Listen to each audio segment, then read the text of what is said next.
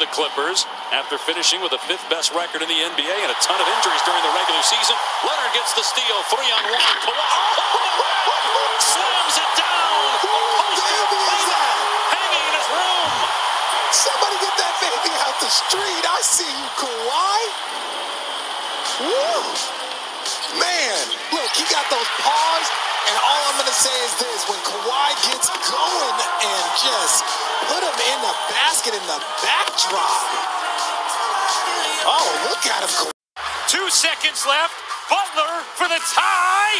Lays it in. Jimmy buckets. Clutch time indeed. We have overtime in game one. Now that was big time. That was, we have nothing, and we throw the ball across the court, and when Butler catches it, he came off that baseline screen, but he didn't have anything. Giannis is on him here right now. He checks the clock, and he makes his move right there. Absolutely great, because he got the shoulder ahead of Giannis right there, and he had the presence to play the glass His way down. Robinson gives it up. Back to Butler, a three. No. Back tap. Ariza gives it up to Dragic. He got oh, out of three to tie it at 107.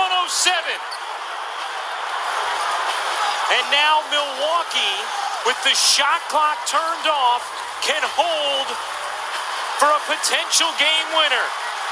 Crowd rising to its feet. Middleton, five seconds left in overtime. Middleton with two. Middleton, you bet! He got it with .5 to go. Khris Middleton puts the Bucks up two here in game one.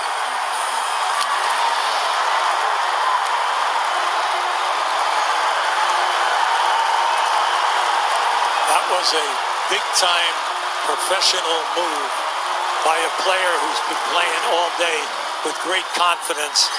27 points. Just watch now as he creates the space right there. He got to his spot, and once he elevated, the defender flew, goes right by him. See, Robinson tries to pick up here, right there. There's the fade. Not only does he elevate, but he gets the fade, and he hits the bottom of the net. 10 for 22 from the floor today, and just a great offensive display by Middleton. Khris Middleton has the crowd going nuts outside Fiserv Forum. He told us late game execution would be the